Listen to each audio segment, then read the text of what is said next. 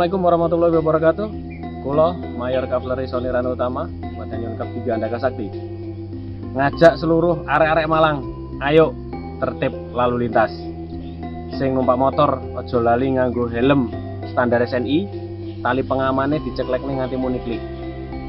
Sing numpak mobil ojo lali dicek kelengkapan mobilnya sebelum berangkat. Terus pakai sabuk pengaman.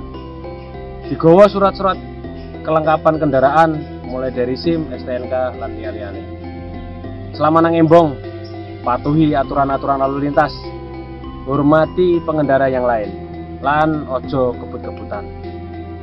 Kulo mengucapkan selamat dumateng Pusenkaf Kodik Angkatan Darat atas pencanangan zona integritas demi menuju wilayah bebas korupsi dan wilayah bersih birokrasi.